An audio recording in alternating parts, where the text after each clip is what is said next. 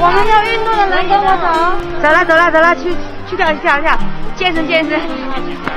又不是半夜的起来锻炼，是白天起来锻炼噻，要增强人的体质的。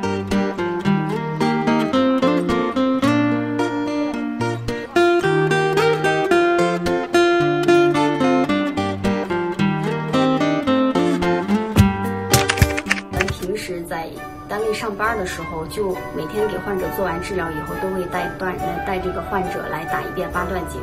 可能打过八段锦的人呢，都啊都知道，就是当时打完以后，你就会觉得身上特别舒服。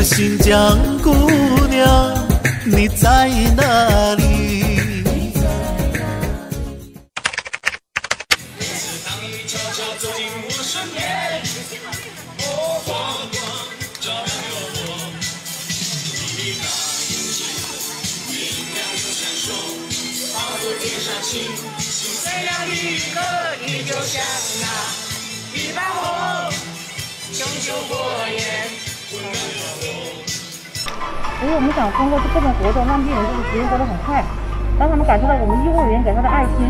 我们双双院是为了隔离病毒，但是我们不是为了隔离爱。我就是要战胜疾病，战胜疫情。我不单是白衣天使，我还是白衣战士。我一个人不是我一个人在战斗，全国的医务人员都在战斗。我觉得重要的是心理上的，我会给大家心理上的安慰。有我们在，大家就放心。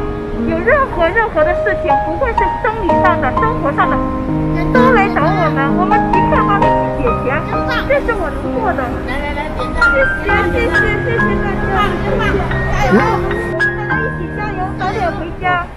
加油